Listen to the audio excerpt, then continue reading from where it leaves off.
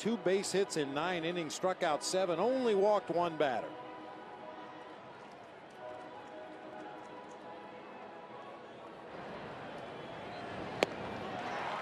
Swing and a miss for the first out. I know there was one little girl in the Bay Area, but one, six, nice. three, a double play. Fly ball to left. Bryan LaHair with the catch, and they do go one, two, three. Foul tip, strike three.